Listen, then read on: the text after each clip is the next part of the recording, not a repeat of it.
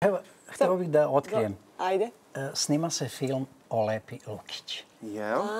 Nemoj to. To, to je zabranjeno meni da pričam. Ekskluziva. Nemoj to da pričaš ti, ja ću pričam ako treba. Ali dobro, Lepa, to je, to je svakako za pohvalu onda. Ako se snima film o Lepi Lukić, o kraljici narodne muzike, to je svakako za priču. Miloš, nemoj I se potenciraš Pa, sada. a- Nismo saznali, nismo ništa čuli. Oni su rekli, da evo, mogu ja nešto da kažem. a Izvolite. sve da se kaže da se snimi, još nije to ni počelo. To- Ali u najavi, znači u najavi. Pripremi, priprema se. Ovaj, a, snimaju kad neko umre. Meni se to ne sviđa nikako.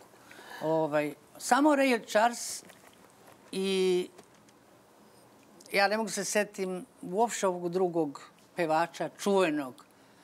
Pomozite mi. Ali svakako hoćete da kažete da se snimi film Ne, za ne, života za umetnika. nji- od njima sam snimao film dok su bili živi. To, to, Oni sad nisu živi, ali snimali, Dok samo njih dvojica su snimili ovaj, e, dok su živi. Film. Znači priča o vašem životu, vašoj karijeri, Jeste, priča o Lepi ali Lukić. dok sam ja živa. Šta će mi kad umre da, da, da, da mi tu izmišljaju priču? Nadam se Dajte da da ćete biti zadovoljni tim i filmom. da predočim stvari onaka kakve jesu. To ćete sigurno uraditi, ja verujem u to i da Znači, ćemo od uživati. detinstva, od detinstva. Znači možemo u neko skorije vreme da očekujemo film. Da, da, sad se to priprema. Ja ću tek uh, uh, krajem novembra da, da ovaj, sa scenaristom pričam svoju priču.